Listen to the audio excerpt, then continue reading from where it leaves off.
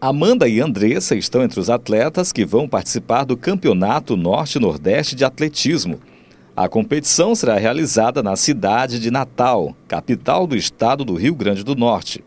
As jovens estão entusiasmadas. Está sendo legal porque a gente está incentivando vários alunos para competir fora. Estou muito feliz por estar participando, representando Caxias fora e espero trazer a medalha para Caxias, porque isso é, isso é o meu objetivo, ir para lá e trazer para Caxias. A equipe caxiense reúne ao todo cinco adolescentes eles têm idade entre 15 e 17 anos. Vão defender o nome de Caxias e do estado do Maranhão. Responsabilidade também dividida com os treinadores. o trabalho não começou de agora, a gente estamos praticamente pronto. Finalizamos o trabalho ontem e graças a Deus vamos chegar lá, vamos representar bem a nossa cidade de Caxias e o nosso estado do Maranhão. Então todos os atletas já finalizaram tudo e estamos prontos para mais uma guerra que é valendo agora uma vaga para o brasileiro. E a gente quer fazer o, o, o máximo para a gente conquistar, trazer uma medalha lá de primeiro lugar, ou uma, ou duas ou três, porque a gente está dando tudo de si. A delegação tem apoio da Secretaria Municipal de Esportes, Lazer e Juventude. Mais uma vez, né, nós estamos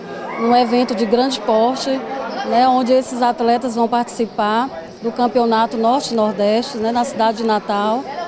Foram selecionados né, cinco atletas, é, tanto do professor Faísca como do professor Abraão.